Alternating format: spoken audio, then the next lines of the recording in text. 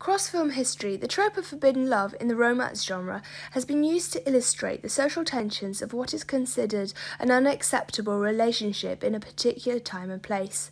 Forbidden love is shown in different forms, whether it is the love between people from different social groups, love between people from feuding political groups, love that is not heteronormative, or love viewed as morally wrong, socially such as that which becomes an affair. This essay will discuss the representation of forbidden love in Wong Kar Wai's In the Mood for Love and Baz Luhrmann's William Shakespeare's Romeo and Juliet. Both films present forbidden love not as being wrong, but being at the mercy of the fate of the cultural context they are set in. In the Mood for Love tells the story of two neighbours who discover their spouses are having an adulterous affair. As they get to know each other, their relationship develops. However, in order to not follow in their spouse's footsteps, they forbid themselves from becoming lovers due to the negative societal view of adultery. The film is Wong's love letter to Hong Kong in the early 1960s in which he grew up. It depicts a moment in time before mass emigration from Hong Kong dispersed what had been a cultural melting pot. The Latin influenced music supports the romantic and sensual atmosphere.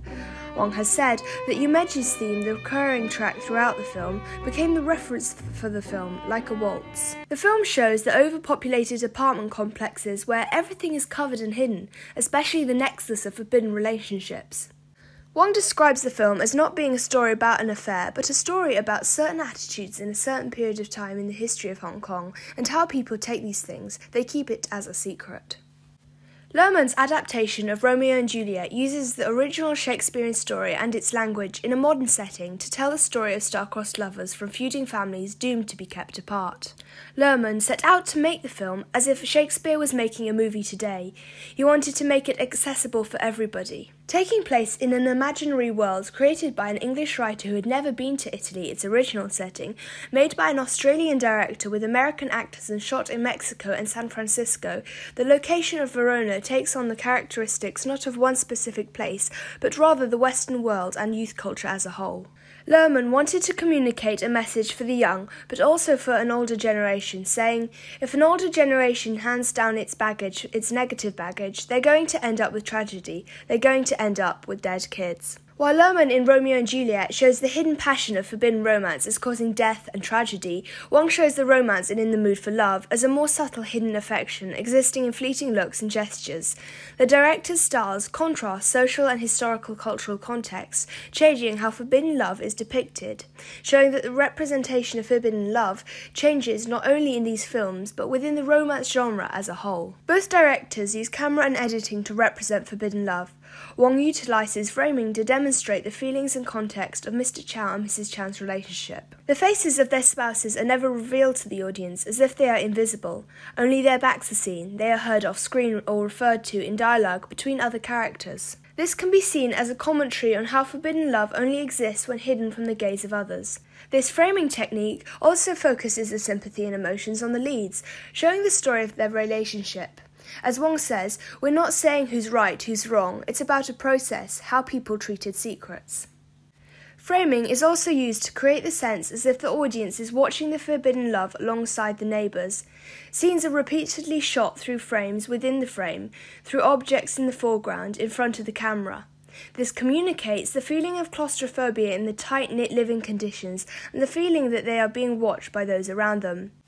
Accepted routine is established through repetition of the same angles in specific locations with the same shot types on certain objects, such as the repeated close ups throughout of the office clock, enforcing the circular feeling to the film as it moves through seasons and years. This isolates the aspects that are changing, such as the details of their relationship and their growing feelings for each other, despite the fact that their relationship remains both hidden and non sexual. The affection develops while remaining constrained due to being forbidden. In contrast to his subtle use of cinematography to present the narrative, Luhrmann uses dramatic editing with fast camera movements and extreme shot types to intensify the Shakespearean text, enforcing a sense of foreboding and dramatic irony as alternating perspectives reveal events to the audience. Repeated use of close ups throughout the film, especially at moments of high tension, can be seen to exacerbate the emotions being portrayed. This presents the conflict between the two families in the extreme, which demonstrates why Romeo and Juliet cannot easily be together. Furthermore, the use of close ups also communicates the passion between the couple and the passion which is felt by the supporting characters.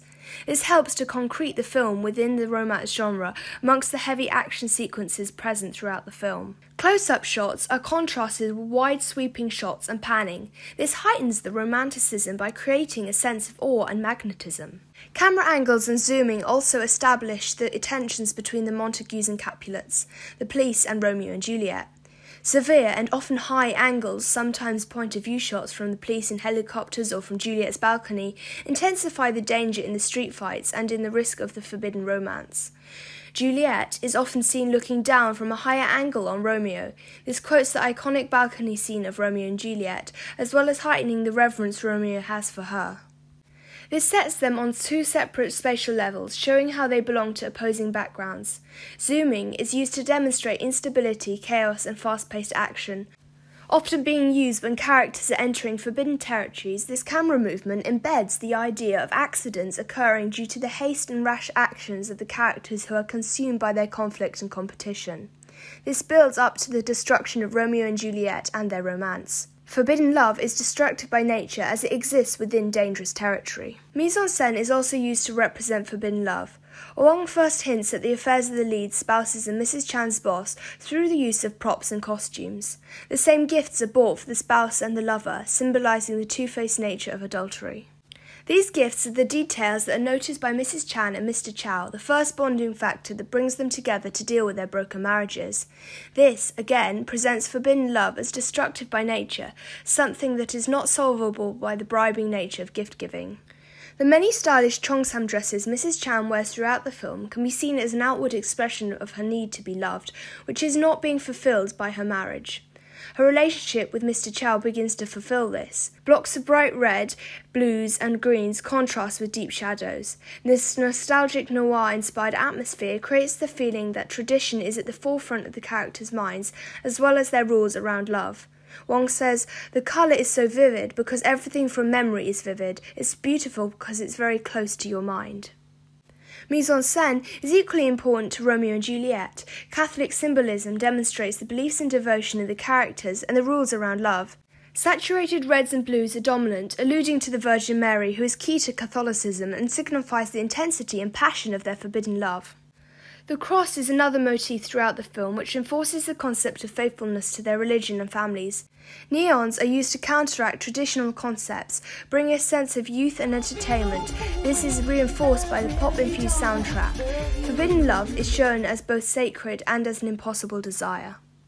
The Hawaiian shirts worn by the Montagues symbolize the blooming of passion and romance, the Sacred Heart of Jesus on Romeo's costume symbolizes his devotion and passion and future suffering caused by his forbidden romance.